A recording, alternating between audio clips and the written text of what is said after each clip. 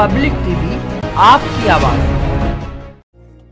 नरेश सिंह ने अब तक जैतिया सादुल्लापुर गाँव की प्रधानी को बखूबी निभाया और जब सीट में परिवर्तन हो गया तो अब अप्रत्यक्ष रूप से नरेश सिंह ने राजेंद्र को प्रधानी के लिए खड़ा कर दिया है और अब राजेंद्र सिंह अपना भाग्य जैतिया सादुल्लापुर ग्राम पंचायत से आजमा रहे हैं। चुनाव चिन्ह कैमरा लेकर वो जनता के बीच जा रहे हैं और सभी से विकास कार्य पूर्ण करने के साथ ही अगुवाई भी कर रहे हैं।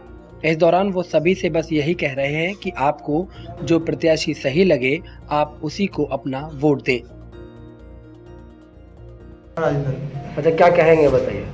मैं ये कह रहा हूँ जो विकास रह गया होने से वो विकास पूरा हो जाएगा और छब्बीस तारीख को कामयाब करा अच्छा।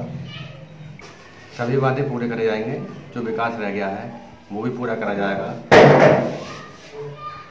कि इस बार आपने खुद ना खड़े होके राजेंद्र जी को खड़ा कराया जी। मुझे क्या मुझे पूरा विश्वास है। हम लोग जो है जितने हमने वादे करे हैं उन पर खरा उतरेंगे।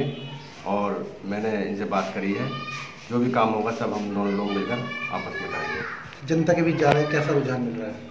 जनता हमारी सही है। हमने विकास कराया है गाँव में। शमशान घाट बनवाया है आंगनबाड़ी बनवाई है तीन। और पंचायत घर शौचालय रास्ते भी मैंने कई सारे कराए हैं। नाली करंजा बहुत कराया है। सभी अच्छा कराया है मैंने गाँव में सभी लोगों का सही मत है।